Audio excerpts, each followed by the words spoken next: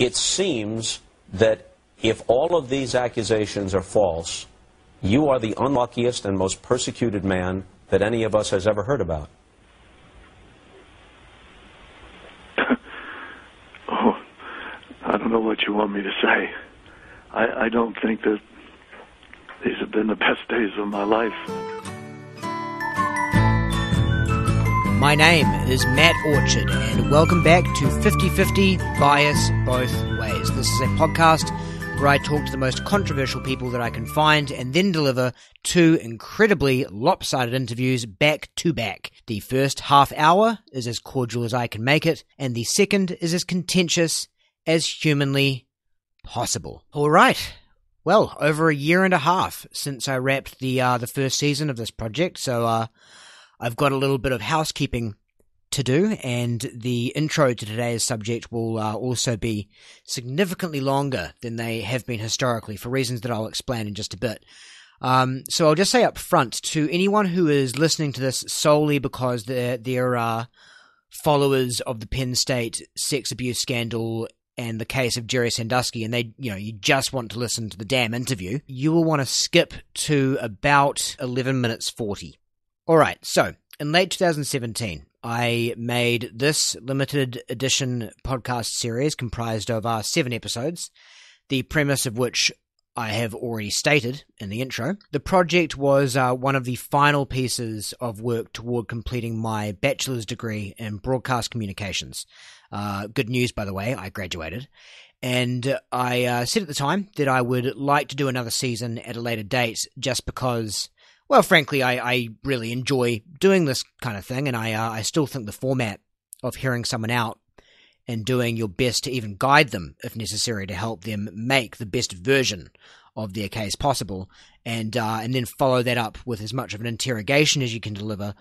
I still think that makes for a really interesting listening experience. And um, look, I, I am the first to admit that I've made a better job of it at sometimes than than others, but that's just how it goes. Uh, for what it's worth, I actually think the uh, the relaunch episode today is a pretty strong execution of the premise, but uh, you'll be the judge of that. Before we get into that, I've I've got a few notes on how this podcast is proceeding now that it is back. So first of all, uh, one of the most consistent complaints about the first season was that a half hour was just way too short to do weighty subjects justice. Uh, my hands were tied due to my supervisors at the time, but uh, now those shackles have been removed. So, bam, full hours from this point forward. Secondly, I uh, mentioned the desire to do more seasons back then, but that's not actually how I will be approaching the podcast from uh, from now on. 50-50 is going to have a completely irregular release schedule moving forward. That's due to, you know, having other commitments and the logistics of of securing guests, which honestly now that I look back on it, I was insanely lucky to be able to get those seven episodes out with not much more than a week between each, especially considering the profile of of a lot of the guests. But even if that wasn't an issue and I was uh, putting this together full time, I think a lot of where the weaker episodes suffered from the last run was when I just couldn't successfully cram enough research into what was sometimes just a few days between confirming a guest's availability and recording to really do the subject justice. Uh, for this one, I confirmed that Mark was willing to give me an hour at some point, and then I locked in the time when I was satisfied that I was ready. And I think the final project really benefited from that approach. Uh, although I will say, bugger tackling a legal case again anytime in the near future. Way too much reading uh, for my liking. Point is, if you like these, make sure that you are subscribed to the RSS feed or getting YouTube notifications or following me at Real Matt Orchard on Twitter because uh, you just uh, you can't count on uh, checking in every other Monday or whatever uh, with these. And they'll initially, at least, probably start out being two to three months or, or so apart as uh, as I find my bearings and and figure out who to talk to. Uh, one more thing on that, actually, if you do have suggestions for guests uh, and or topics that you think would be suited to this format, let me know uh, through any channel really, but um, including Matt Orchard. 5050 at gmail.com if you'd like to drop me a line there. I'd be particularly interested in um, having guests that you would broadly categorize as being uh, left wing, just because the uh, the previous episodes slanted uh, heavily toward controversial figures and topics from the the right. Uh, wasn't intentional, just the way it sort of panned out in terms of who said yes. Almost got Julie Bindel on, which would have been a lot of fun, but um. Uh, it was not to be. In any event, though, whoever you might think is good, for any reason, please let me know. Today's episode, though, isn't a political one as such or at least it's not about left and right. It's certainly controversial, though, and uh, because there's so much going on in the case, um, Mark Pendergrast and I barely scraped the surface in terms of covering the, the various elements of the case, even with the, the new hour long time frame. And the only way that we got as far as we did was by assuming a fair amount of prior knowledge on on behalf of the audience. So, for that reason, before we kick things off, I think it's a good idea to give a little bit of a crash course on the Jerry Sandusky case for anyone listening who isn't familiar with it. Jerry Sandusky worked as an assistant coach at Penn State University for 30 years, and at the peak of his career, he was regarded as one of the best defensive coaches in college football. He was also a very active philanthropist and took a particular interest in helping disadvantaged children. In 1977, he founded a charity called The Second Mile that aimed to provide help for underprivileged youth, at risk children, and support for their parents in Pennsylvania. He did work for The Second Mile in conjunction with his coaching duties until his retirement in 1999, after which he took an even more active role with the charity. Then, in November 2011, all hell breaks loose. Jerry Sandusky is arrested and charged with dozens of counts pertaining to sex abuse of underage boys. The investigation leading up to this arrest was initially sparked by accusations of inappropriate touching from a young man by the name of Aaron Fisher, who met Sandusky through Second Mile camps and was taken under Sandusky's wing like many other boys before him. Ostensibly, Sandusky wanted to provide children without a father figure with a strong male role model and mentor but it was now becoming apparent that this may have all been a ruse to get close to vulnerable children, isolate them, and begin grooming them for sex abuse. As the investigation moved on, the situation began to look all the more damning when an assistant coach named Mike McQueary testified to a grand jury that in 2001 he had walked in on Sandusky appearing to sodomize a boy in a men's shower room on Penn State campuses. It also comes out that a janitor at Penn State witnessed Sandusky perform oral sex on a boy in Penn State showers and recounted this harrowing scene to his co-workers immediately after in a state of severe distress. And it's discovered that before all of these episodes, the mother of another young boy had made a police complaint against Sandusky in 1998 due to his behavior with her son after they had shared a shower after working out in a Penn State gym. Things continue to snowball more and more after Sandusky's arrest. The university fires legendary head coach Joe Paterno due to a lack of action on his part once the McQueary incident was apparently brought to his attention. This decision leads to riots, and Sandusky makes a public plea of innocence on national television in a phone interview with sports broadcaster Bob Costas, which has since become infamous, particularly for this jaw dropping exchange. Are you a pedophile? No. Are you sexually attracted to young boys, to underage boys? Am I sexually attracted to Yes. underage boys? Sexually attracted? You know, no, I, I enjoy young people. I I love to be around them. Um, I I but no, I'm not sexually attracted to young boys. More and more victims come forward with similar accusations, and ultimately Sandusky is found guilty on 45 of 48 counts pertaining to 10 victims. The whole affair dealt an absolutely devastating blow to Penn State and the community around it. To date, the university has paid out over a quarter of a billion dollars for lawsuits, settlements, and fines relating to Sandusky's actions. It is easily one of the most infamous child sex abuse scandals in American history.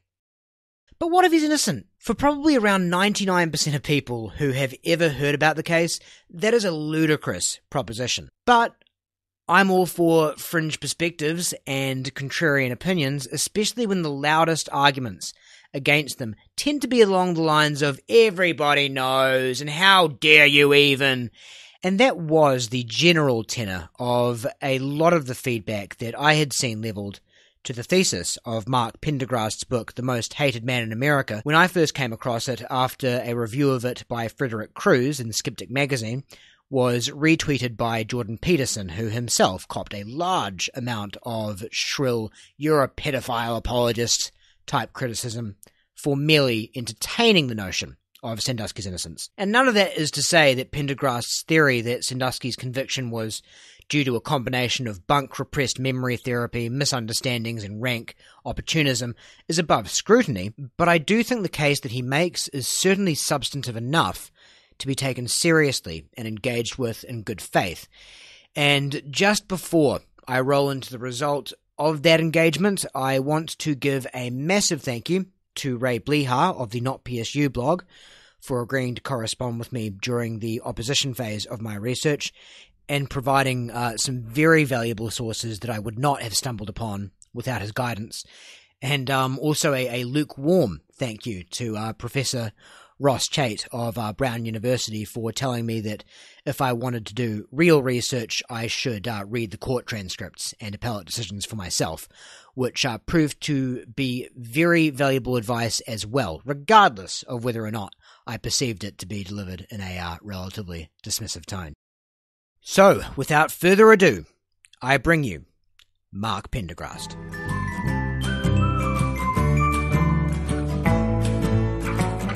I am joined by freelance author Mark Pendergrast, a man who has been described by Professor Elizabeth Loftus as an enormously important contributor to the repressed memory debate. He's a freelance author who has penned many books on various topics, but central to today's discussion is the most hated man in America, Jerry Sandusky, and the rush to judgment. Mark, thank you so much for joining me today. Well, thanks for having me. You're more than welcome. Look, there's so much to get into with this case that it's I mean it's hard to know where to begin really. So I think um the best thing for me to do is just follow your lead on that. How did you become interested in the Sandusky case to begin with, and what are the um I guess the cliff notes on why you've you've come to believe with from what I can tell probably like 95 plus percent certainty although correct me if I'm wrong that uh, Jerry Sandusky is actually innocent of of everything that he has been accused of. Well, uh, a woman named Glenna Kirker, who followed the repressed memory debate uh, and who'd read my uh, book about it, contacted me by email and said, Have you looked at the Jerry Sandusky case? And I said, No, but, uh, you know, I know he's guilty. Uh, everybody knows he's guilty because that guy saw him sodomizing a child in the shower. There's, you know, how do you get around that? And she said, Well, you need to look at it more closely because, in fact, uh, he didn't witness that. And there's all kinds of evidence that there was repressed memory therapy involved in the development of some of those victims. And I said, well, I'll look at anything, and it certainly is a notorious case. Uh, so the more I looked into it, the more she was correct. Uh, so let me just start with that uh, shower incident, if if you don't mind. Go ahead.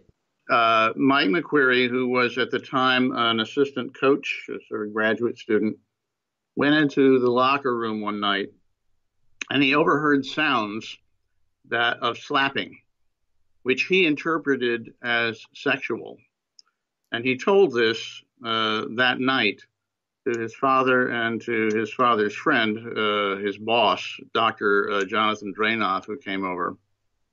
And Dranov, you know, so he's, he, he, he heard, overheard the slapping sound. Then in the mirror, he saw an arm. Uh, he saw a kid peek his head around, didn't look alarmed, but an arm pulled him back in. The slapping lasted only a few seconds.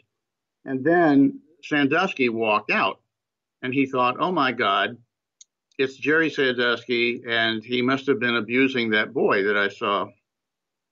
So he called his father. He was very alarmed. This was actually probably in December of 2000. The the date got mistaken by about a year later on. There's been a lot of debate around the date itself. Yeah, I know. Yeah. And you're right. Let me just say there's no way that I'm going to convince anybody of anything unless they actually read my book uh, because it's so complex and it is so confusing and there are so many alleged victims. But yeah, I did become convinced that it's very likely that he's innocent. So anyway, yes, sir. He told he, he he at that time, Draynor kept saying, "But what did you see, Mike? What did you see?"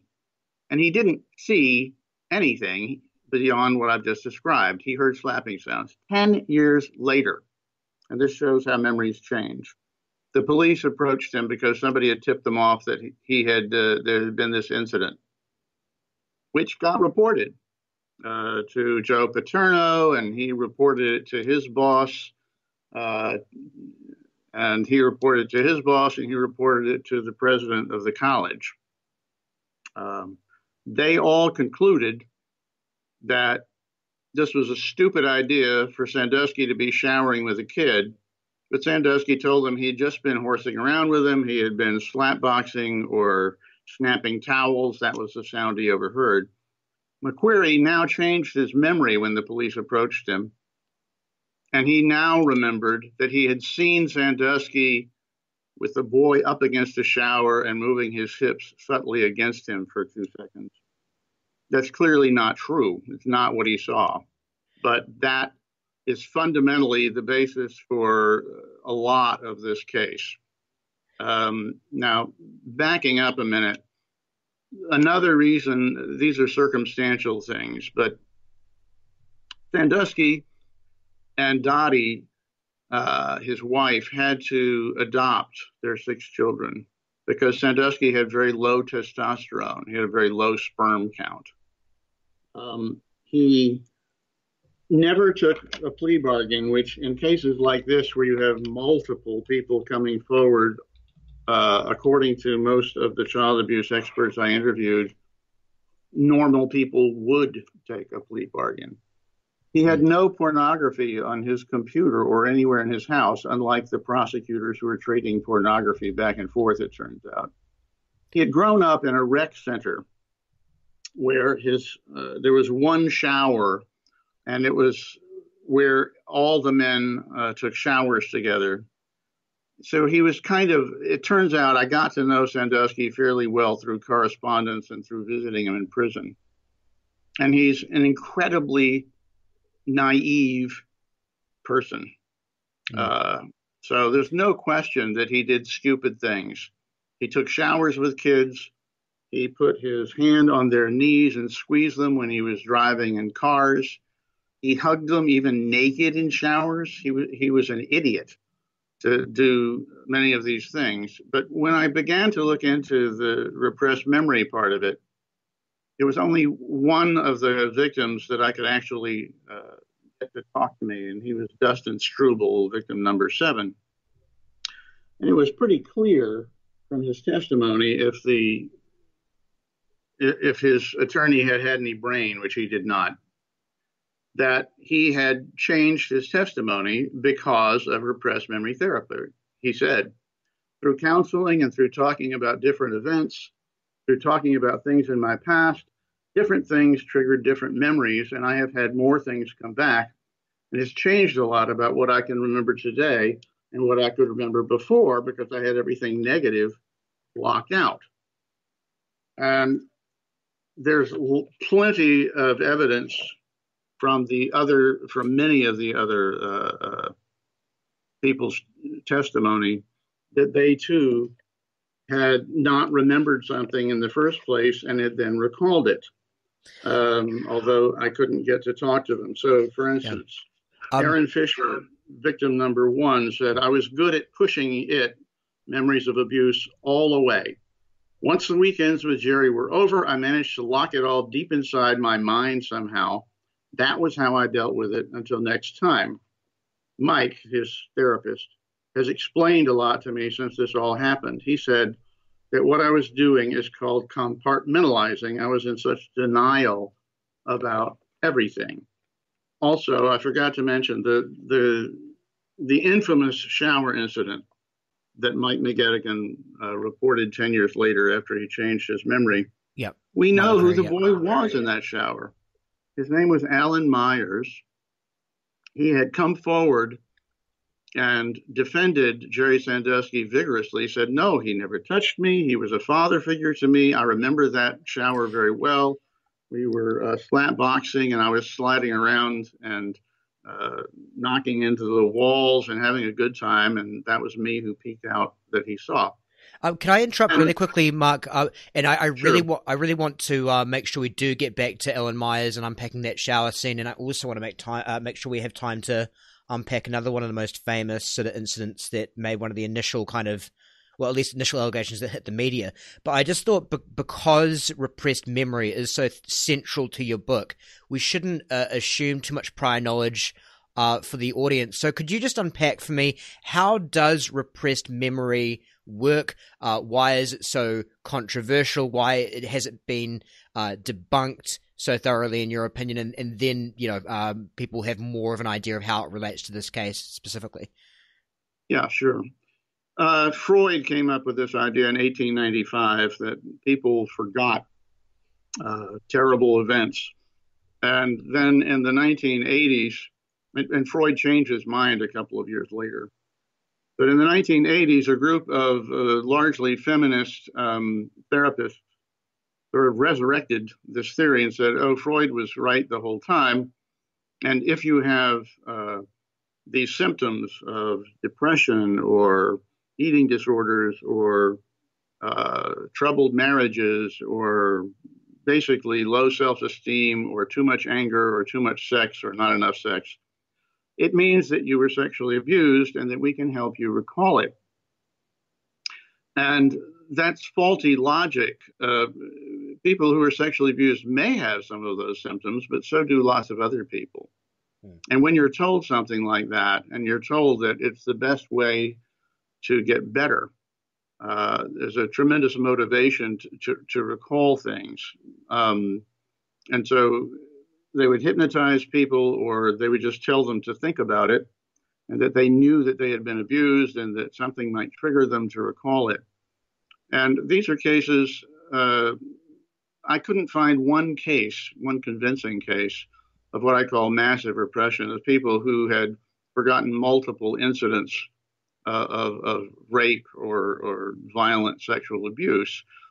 And uh, people generally, when they recall abuse, they recall it all immediately. They don't have to, you know, mm. search their memories forever and ever and ever. So.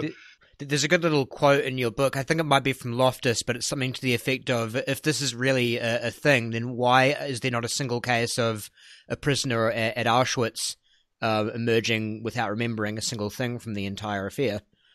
Exactly. So, in the contrary, the way memory actually works is it's malleable. Um, we sort of piece together memories from all over our brains uh, to come up with something, and it's never totally accurate. But the things that are most accurate are the worst things that have happened to us.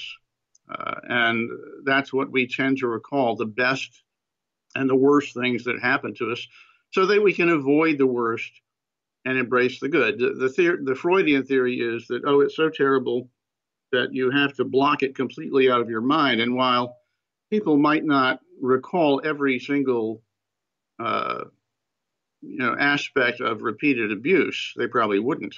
They would certainly know that they had been abused. They, they don't completely forget it. So that when most of the Sandusky abusers came forward, uh, they didn't tell the police anything. It was only after a, a, fair amount of prodding and with many of them being sent to therapy that they came up with things. And the telltale indication is that their allegations morphed and changed and got worse o- over time. Hmm. Uh, so I go through each of the alleged victims in, in some detail and each of the uh, unknown victims in some detail. And then one of the Sandusky sons, Matt, he got repressed memories and talked about uh, how he was just beginning to get them when he talked to the police. And then when he talked to Oprah, he explained how he had blocked it all out of his mind completely, but now he remembered oral abuse, oral sex, etc.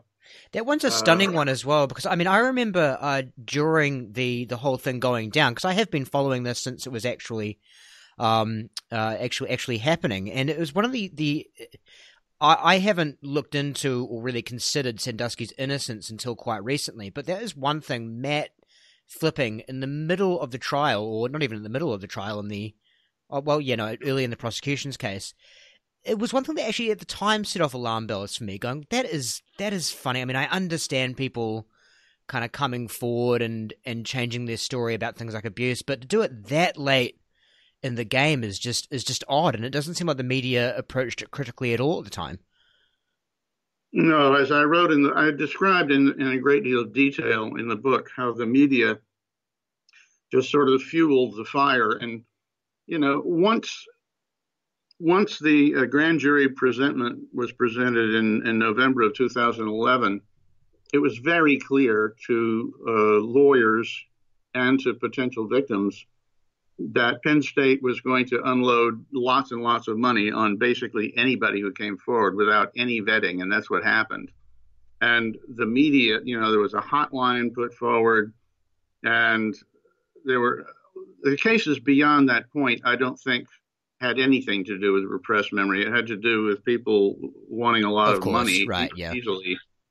Uh, and some of the most outlandish and absurd allegations came forward after that. The only two that made it to the trial were one where somebody claimed, after he'd first said, no, he didn't do anything to me, he claimed he was being held prisoner in his basement and not allowed to eat anything and yelled and screamed and nobody answered him, uh, etc. So yeah, I think the media uh, created what I call the moral panic in this case. You know, e- even with some of the ones that I, I think that some of the ones were, I concluded, probably simply lying to, to, to get money. The most to, egregious, yeah. The most egregious one was a guy named Brett Swisher Houtz. His father called him and said, you know, you should get a lawyer and I'll call one for you. And, you know, you could make a lot of money off of this but even he ended up going to Mike Gillum, the sort of uh, uh, the lawyer, uh, the, the uh, therapist who took three years to get Aaron Fisher to be uh, not the only person saying this. Everybody asks why it took so long, and if you go back and look at this, this 15 year old kid was sort of groomed by uh, Mike Gillum and represented, you know, told, I know you were abused. You don't have to tell me the details. Just I'll say, you all you have to do is say yes or no. I'll guess what happened to you. This is classically wow, yeah. terrible uh, interviewing technique. I mean, beyond uh, leading, kind of putting words right in your mouth. Yeah, and the police did the same exact thing to uh, Brett Houtz, for instance, where they they were tape recorded plotting how they were going to get him to admit more things, saying, you know, we tell everybody that that uh, everybody else has said this. They said, and it took us forever to get the first one to say anything, and that was Aaron Fisher they were talking about. It's an incredibly uh, uh convoluted, but mm, you know, upsetting case. I said that I wanted to make sure we had time for a, a, particularly egregious aspect of the case, and we've still got a good like twelve or so minutes, so I'll just make sure I um I bring this up. We are talking about the Mike McQueary incident uh, earlier, um, and one thing that really is so fascinating about this case is that, again, as I mentioned briefly before, some of the most famous aspects of it, the things that initially really came to the attention of the media, uh, like that shower rape, for instance, which which um, took up so much of that that infamous Bob Costas interview. He ended up being found not guilty on that on that particular charge. It's funny how some of the the most famous incidents are the ones with the least credibility. And another one that I'm thinking of that I really wanted to make sure I, I brought up is this instance where a janitor allegedly witnessed him performing oral sex on a boy in uh, in one of the showers. And I say, I mean, I say allegedly. I guess he's been technically he's been convicted, so I guess in the eyes of the law. Um, but the you know the case against yeah. him, the case against him in that instance is just it's so egregiously cobbled together. And I think it's one of the most shocking things to read about in your book and, and in the transcripts for that matter. Can you just um give me a rundown on, on that one? Yeah, it was a double hearsay case. The janitor who supposedly saw Sandusky abusing the boy, he told another janitor about it, and that janitor is the one who was allowed to testify. So it's sort of a, a double hearsay case. It turns out the police did interview the first janitor who was in the process of descending into Alzheimer's. So you could say that uh, his interview, which was tape recorded, wasn't accurate. But if you read it, it's quite clear that he was positive that he had seen somebody abusing a boy or a young man, as he described him. But he was very, very adamant that it was not Sandusky, whom he knew quite well. Um, I don't think that the defense attorney ever listened to that tape recording. He never brought it up.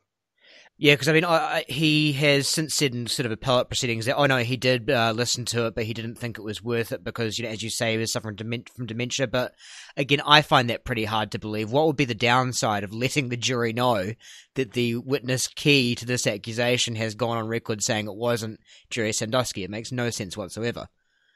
No, it doesn't make any sense.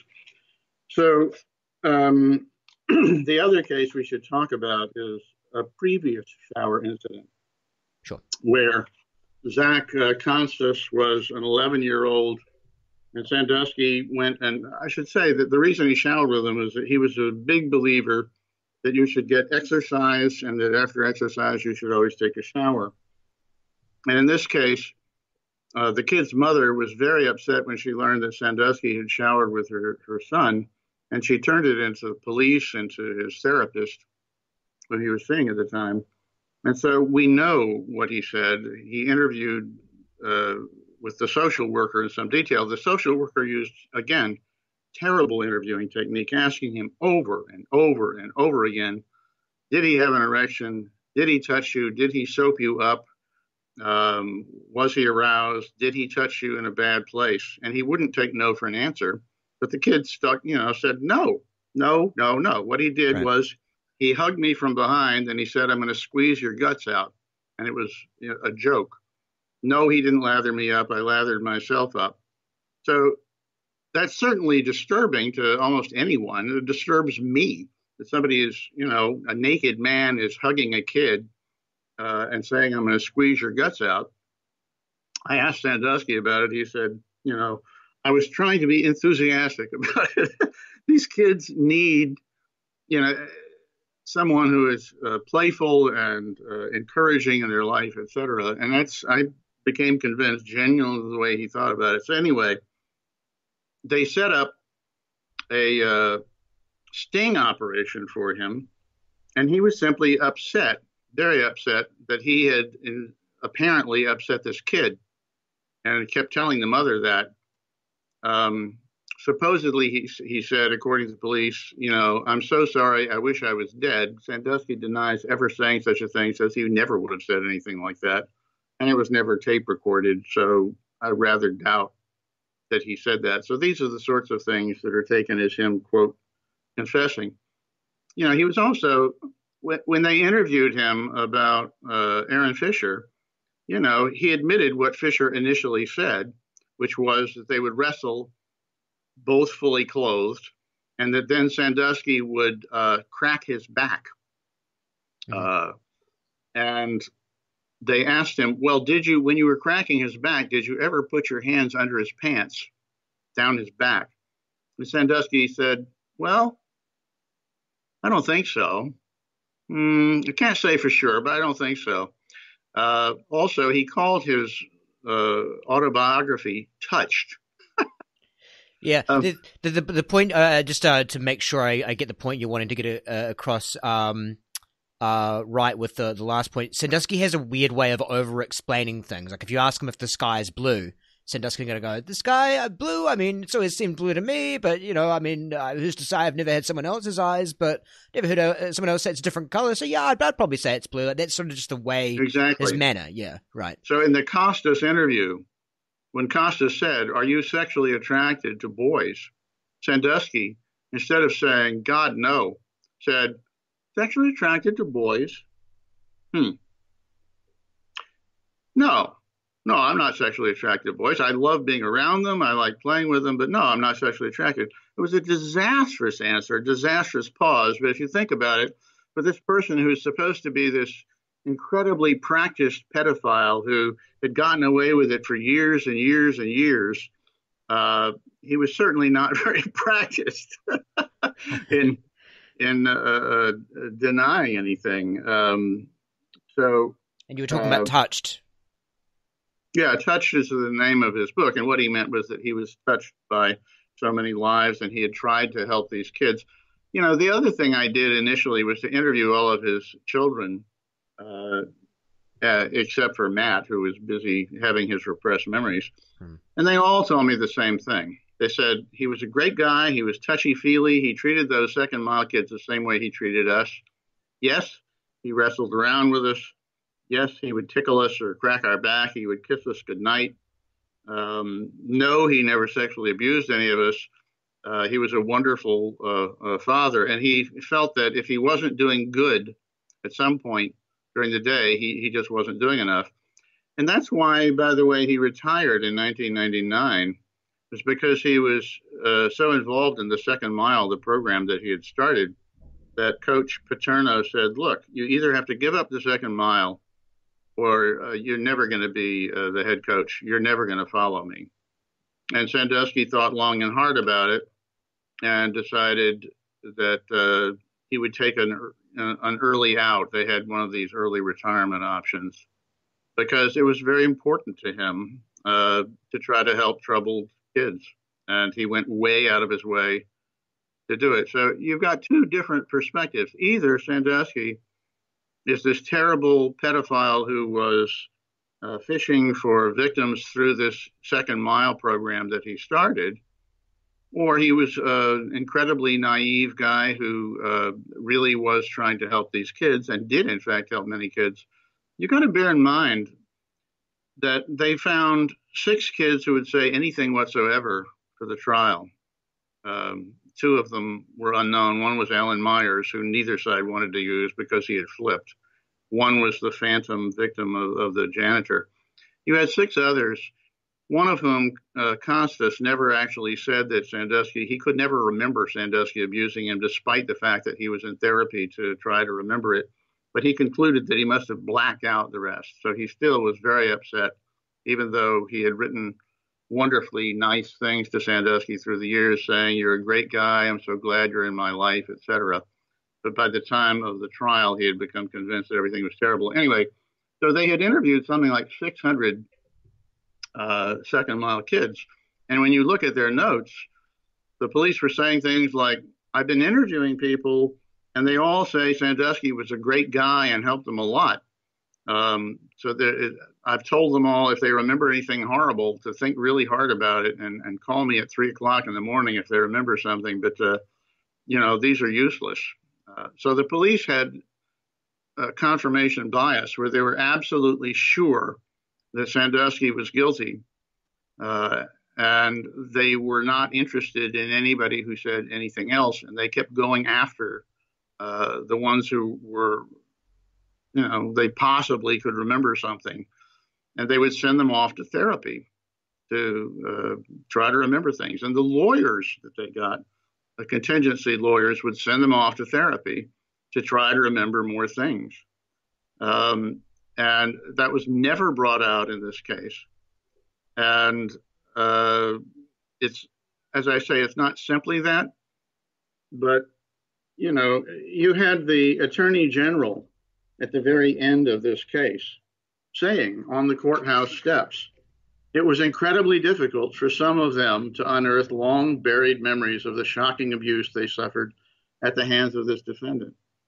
You could, maybe you believe in repressed memories, and that's your option. Uh, and maybe you believe that he really did abuse the two uh, cases where they said something to the police the first time, and that was uh, Michael Kajak, victim number uh, five, and uh, Brett Swisher Houtz, who was victim number four, hmm. uh, as they call them. So, you know, those those cases did bother me, and uh, I am pretty sure that Brett Houtz was simply a manipulative young man, according to many, many, many people, uh, sort of a congenital liar and out for his own good. And as Sandusky himself wrote in one of the letters to him that were interpreted as these evil love letters. Uh, just one one minute remaining in the first half, just so you know.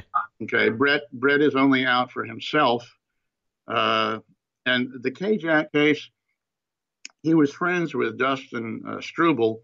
The case had already become public by then, and I can only hypothesize that he had been trying to remember things before the police finally got him to talk to him. So, okay, that that's as much as we're going to get for this half an hour, and I'm sure that you are going to have many, many uh, issues to bring up uh, in the second half. So go to it. But as I let me just repeat, of course, people should read the book, read the entire book. It took me several years to write it. it's extremely well documented, and it explains all of this in much, much more detail than I'm going to be able to do here on this program.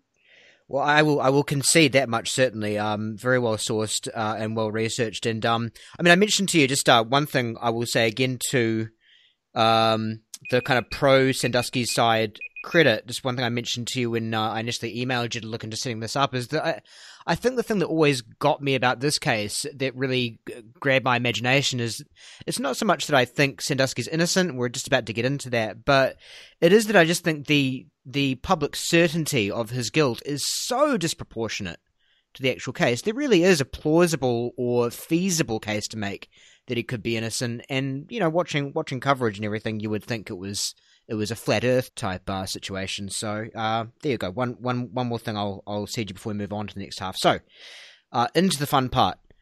Um, just a, a couple things I want to pick up that you you raised really quickly. Um, I do feel as if you go out of your way to give credit to Sandusky and ignore things which kind of point the other way. For instance, you mentioned his his low testosterone, and uh, you mentioned uh, in the book that, and he argues that uh, he he has abnormally low testosterone, so that would make him not a great candidate to be a serial molester, which is a, a decent case. But then when he tells you that he has sex with his wife three to four times a week, this is a man in his seventies. You're you're very quick to believe that, but to me it seems like one or the other, right? He's either very active sexually with his wife, or he's got abnormally low testosterone, and that should um, deplete his sex drive. Well, I think he had his. You, you can have a sex drive. Uh, uh, he was quite insistent that he had only had sex with his wife, only in the missionary position, by the way and let's say testosterone enters into that. He, low testosterone doesn't doesn't keep you from having sex, but it doesn't make you have a, a humongous sex drive. I don't. I rather doubt that they were having that regular sex in in their seventies. You're right. Maybe in their sixties.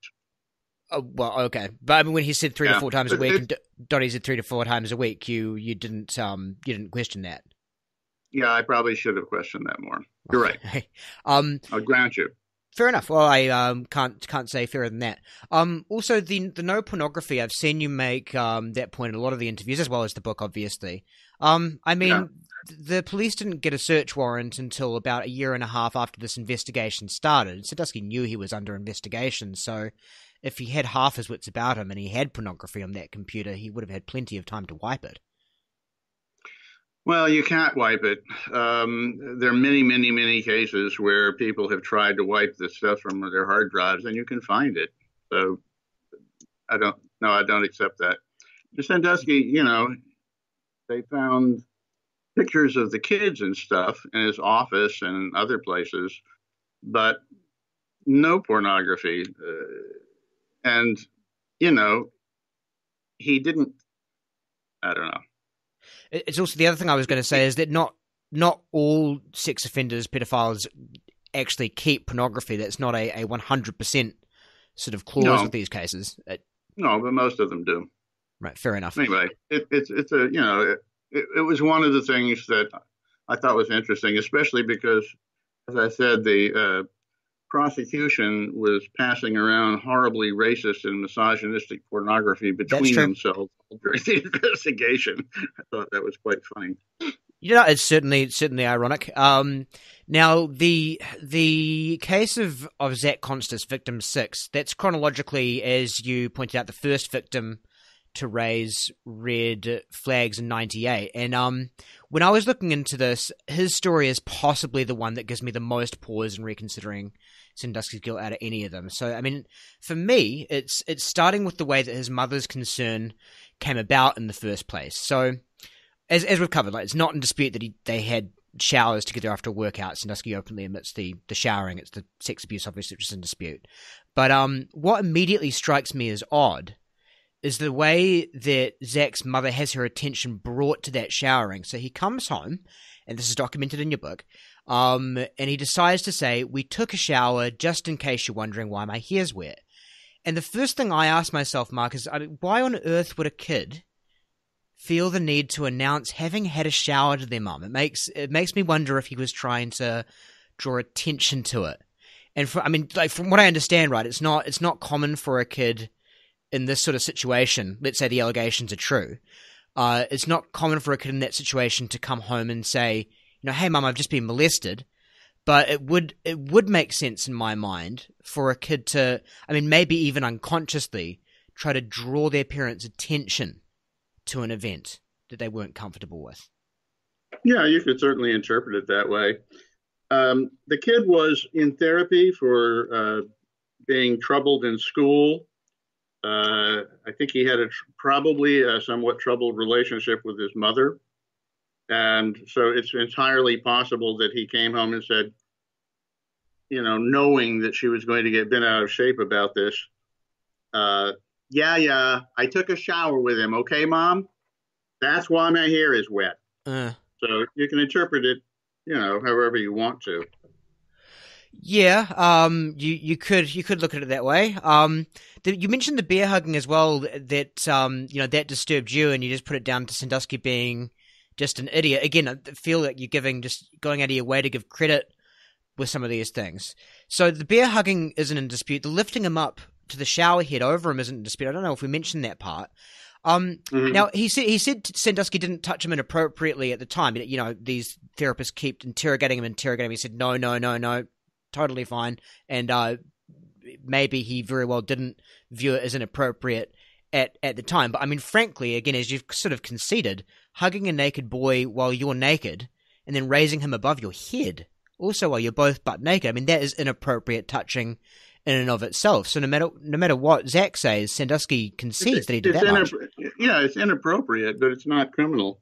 Let me just read you some of this interview, if you don't mind. Uh, go ahead, but can I just Are point you- out quickly? uh, It was made, the point was made actually in the trial that it can actually be criminal if there's sexual intent behind it.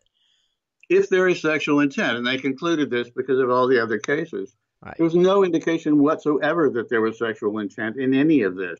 Well, you go ahead and read me That's the what I'm trying. That's why I, I really insist that you let me read some of this. I, I said, go ahead. Yeah, sure, go ahead. Thank you. So he says, okay, at what point did Jerry, what did he do to you then? Well, first thing, like he was pretending to try to squeeze my guts out. He like uh, was just trying to get the shampoo out of my hair. He lifted me up. He lifted me up pretty high. So my feet were just around his waist. My back was touching his chest. Are you telling me he never touched you any place that was inappropriate? No, he did not.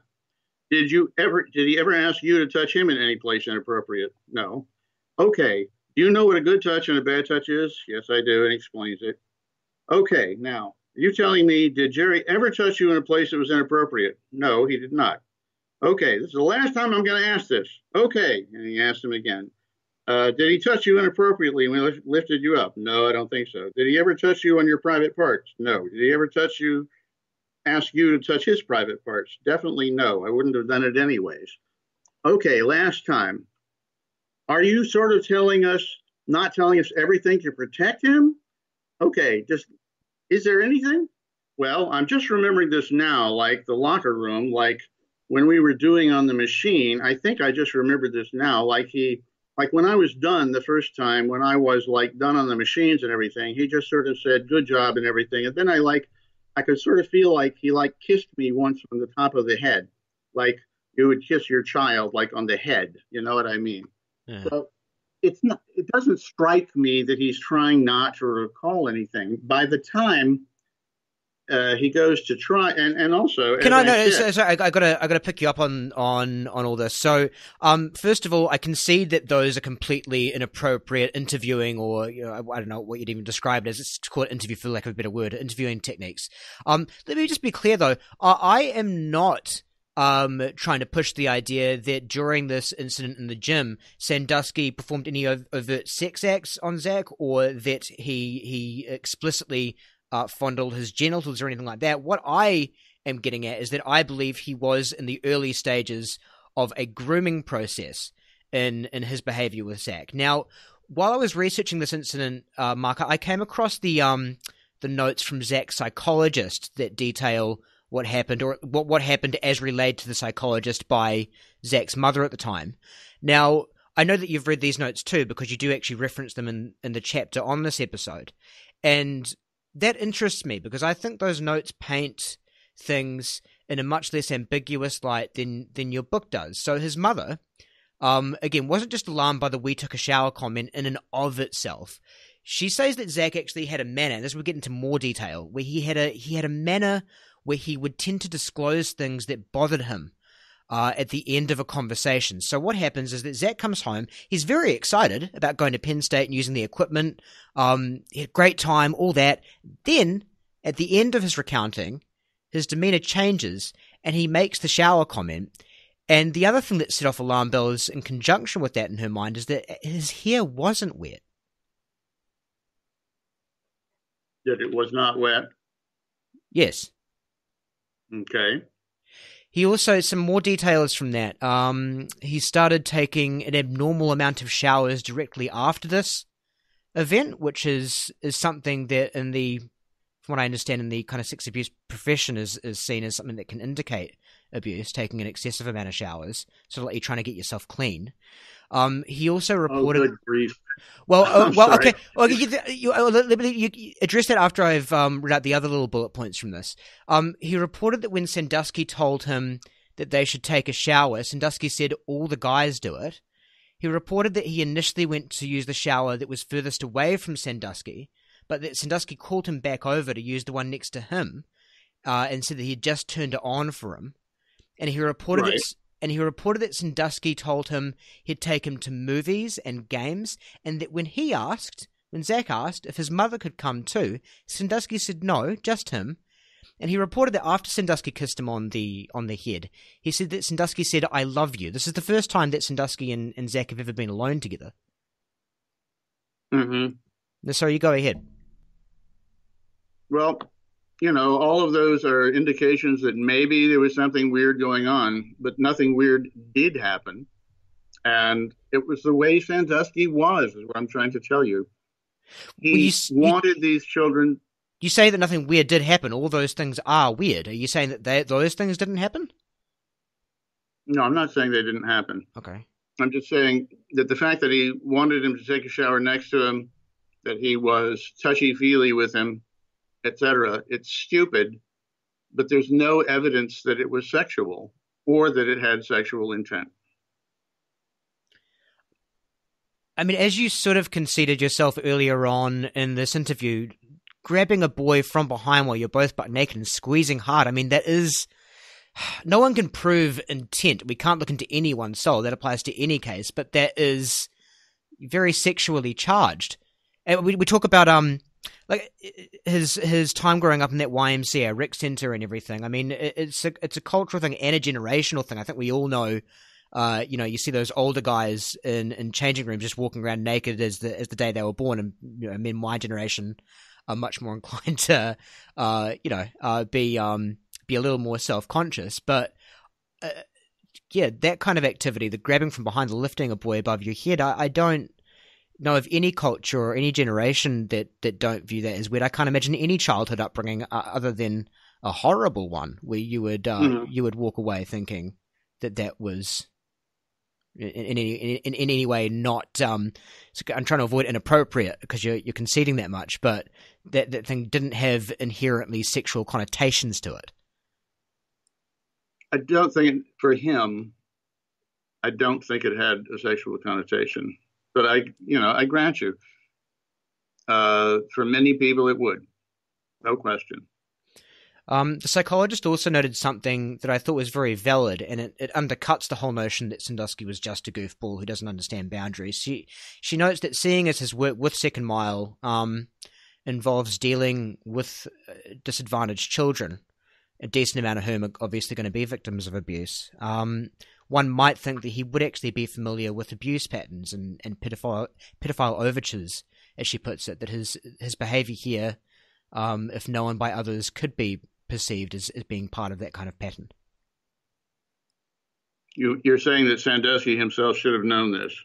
Well, Sandusky deals with a lot of abused children. He's very interested in that area, so you would you would think um, that he'd probably have some familiarity with yeah grooming processes and and the like.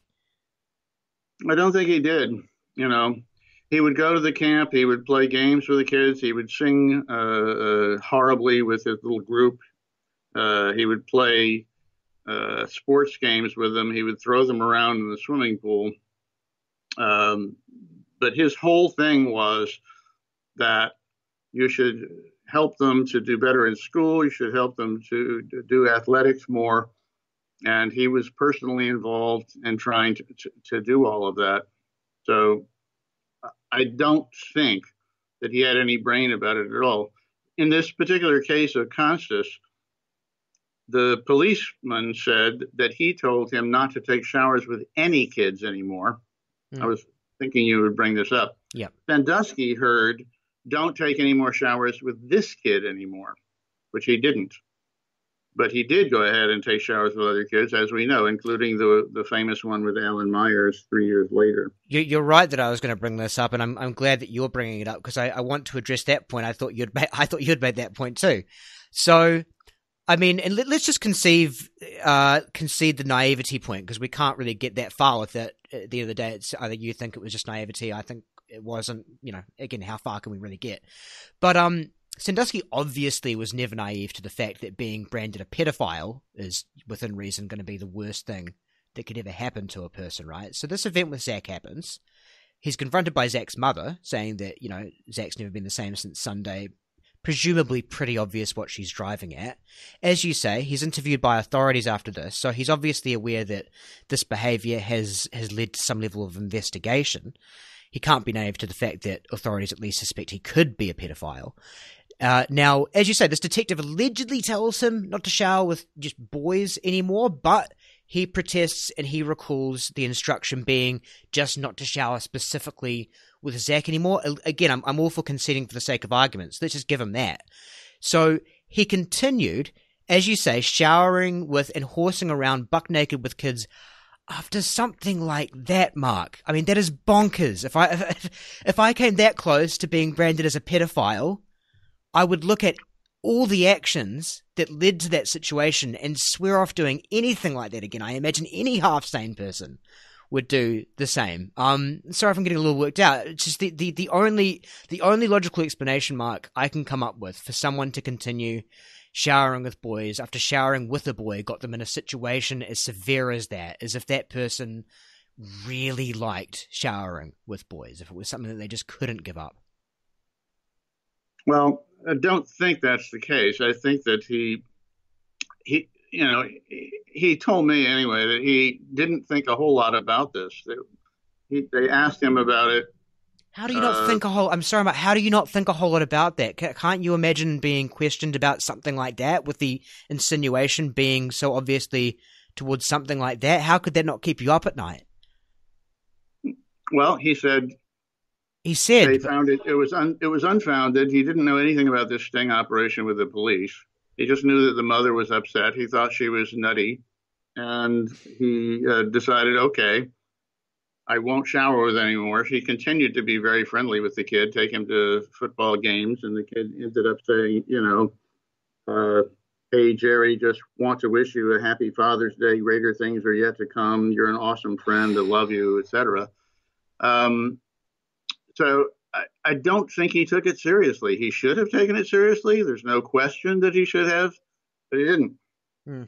Uh, so either, you know, either he's this horrible pedophile or he's uh, living in the uh, 1950s world of uh, goofing around, uh, and that's what everybody uh, who knew him concluded at the time, including uh, Paterno, who didn't like him, uh, didn't like Sandusky, and wasn't even, you know, he wasn't even a coach at that point.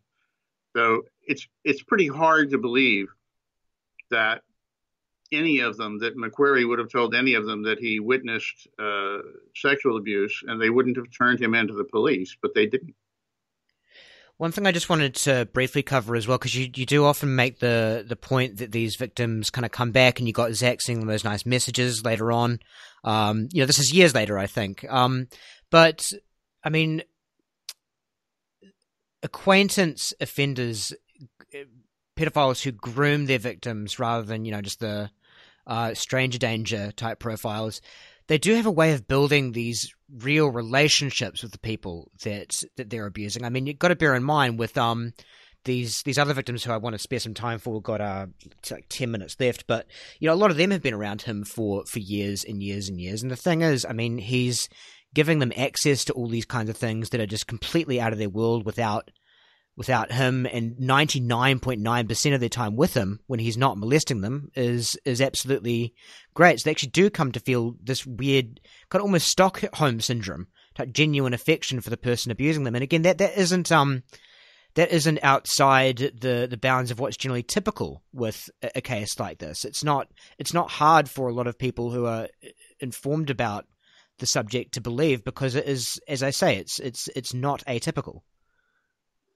It's possible, but you know, for instance, at the sentencing hearing, Zach Konstas said, I have been left with deep, painful wounds that you caused and had been buried in the garden of my heart for many years. Uh, he said he couldn't remember anything after being lifted up to the shower head because it was blacked out and that Sandusky had lathered him up with soap, etc. He clearly totally changed his attitude towards him.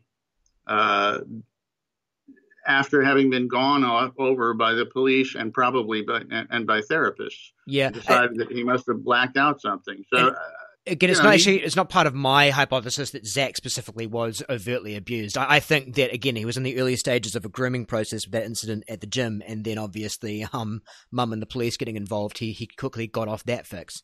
Um, that's my version of events. Um, but anyway, I take your I take your point that maybe okay uh, you know, you can be abused and still uh, uh, have some nice things to say about your abuser. Let's. Uh, I, I appreciate the the concession. Uh, let's make sure we get time for this one. So, the prosecution's star witness talked a little bit about Brett Houtz.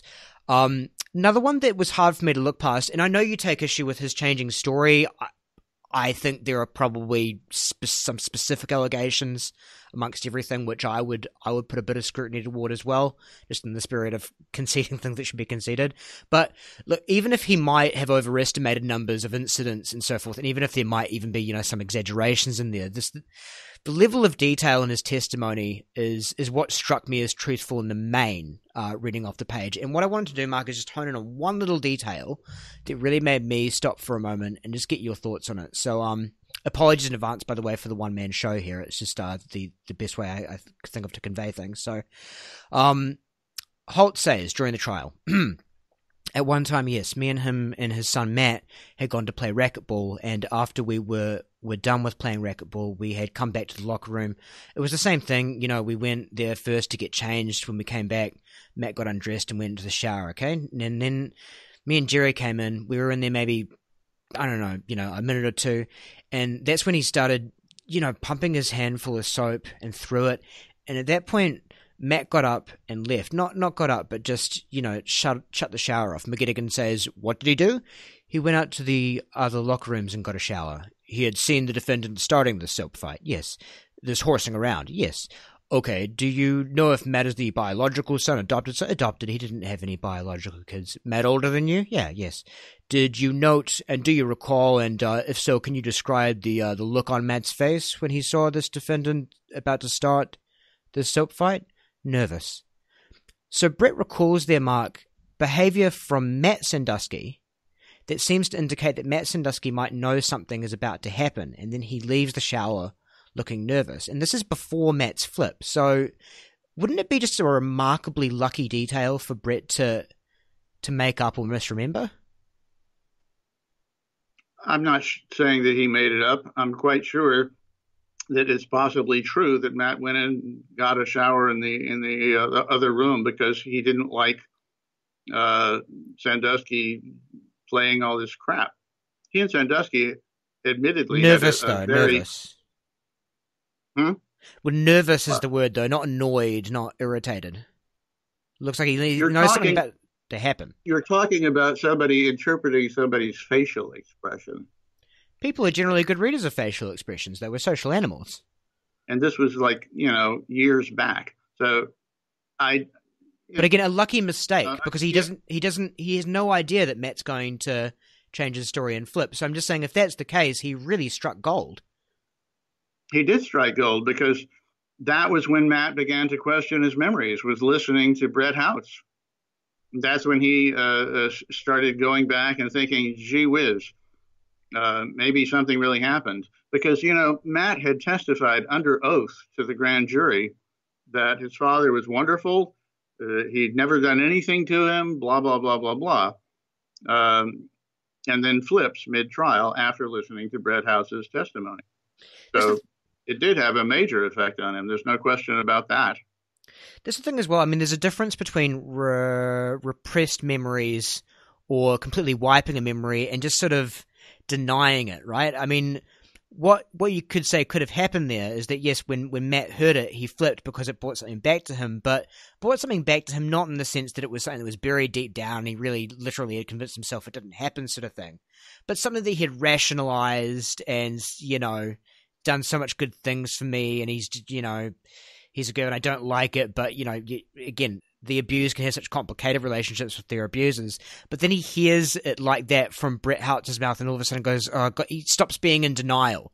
You know, oh God damn it! Re- it really, it really was wrong. Not oh, it really did happen, but oh, that thing that I was rationalizing, I can't rationalize it anymore. There's a difference between those two things, isn't there?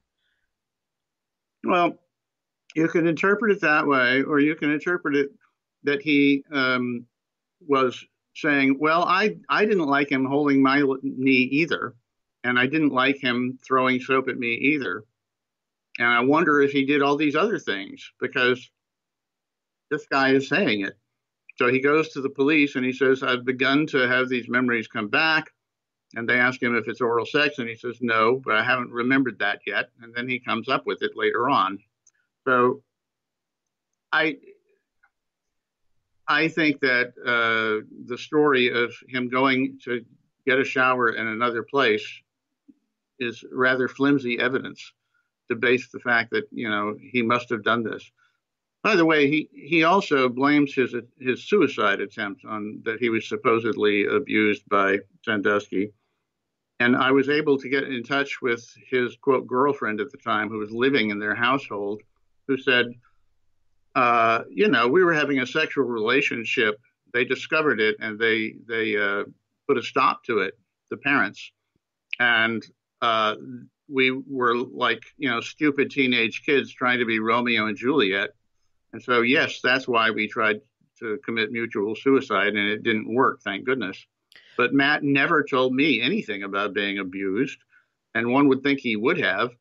One would also wonder why, at the age of 18, he would want to be adopted by somebody who was sexually abusing him. Uh, So okay, I want to make sure a we lot more to the story. I want to make sure we spend some time on Aaron Fisher. We've got literally three minutes. So, um, with Aaron Fisher, um, I think um, the the argument that he didn't allege any sex abuse until going into therapy. This is victim number one. This is the guy who sort of starts everything off, really, in in the main. He did start Um, everything off. I, you could argue Konstas, but yes, no, he he did start everything off uh, in terms of the the trial um, of Jerry Sandusky. It's um the idea that he didn't allege any sex abuse until going into therapy is, I mean, if not outright wrong, I think at, at very least going with excessively strict parameters for what constitutes abuse. So, in Fisher's first ever meeting with his principal, um, Aaron alleged that Sandusky would routinely get into bed with him, roll him over so they were face to face, and maintain that position for around 15 minutes, regularly cracking his back during that time, um, bringing them even closer. So, I mean, if that isn't molestation, and it might not technically be, it's at least molestation adjacent. Well, the 15 minutes, who knows whether it was 15 minutes. But after they would wrestle, he would crack his back. There's no question about that. And it would be on the bed. Sandusky says, you know, it was a comfortable place to to crack his back. We weren't in the bed; we were on the bed. Yes, yeah, so Sandusky's um, claiming the bed stuff never happened. He would say sometimes they'd wrestle in, in lieu of a mat, uh, they'd wrestle on a mattress in lieu of a mat, and sometimes he'd allow Aaron to pin him um, for a time, and they'd hold the position for like I think a minute or so. He's saying that's that's Sandusky's version, right? No, I think he, he admitted that he did it on the bed sometimes. Yeah, they would sometimes do it Back on. Back. Yeah, they do it on the bed in lieu of a in lieu of a mat, so in, instead of a mat. Mm. But I mean, even if yeah. you give him, even if you give him that, right? So he's saying this is again, it's before therapy. So in this instance, you are you're basically saying Aaron is flat out lying. He hasn't been influenced to make up the bed thing. If it was, and it's it's not close enough to the the wrestling version of. I'm not saying I'm not saying he's lying about uh, having his back cracked. Well, no, not about uh, his back cracked. About the lying in bed, in bed, getting in bed with him and lying on, on top of him for fifteen minutes, or getting him to lie on top. Sandusky getting Aaron to lie on top of him for fifteen minutes. You're saying he is lying about that, right? You must be. I'm not saying he's lying. I'm just not saying it's necessarily 15 minutes. Your interpretation of how long things are can can vary. Okay. Well, but, I'm. And I'm not saying that that's not a, an inappropriate and stupid thing to do, but I'm saying that's what he did. Well, and even if it, I guess my point is, let's just be as generous as possible about what actually transpired. Um, if it was just a wrestling man and it was just allowing Aaron to pin him, pardon me, a full minute of being in the pin position. I mean, I'm not, I'm not a wrestling expert, but I imagine in wrestling it's pretty obvious uh, who's been bested after five, ten seconds of being pinned. So a straight minute uh, to allow a, a boy to to have you in the pin position is again, just still in and of itself, even if that's as bad as it got, still very bizarre to imagine. Yeah, I can I can grant you that it's uh, unusual. Okay. Well, Mark, that is it. I think it's been a very spirited one. I I really appreciate you making the time, and I think it's been uh, a substantive exchange. So again, thank you very much. Thank you. Take care.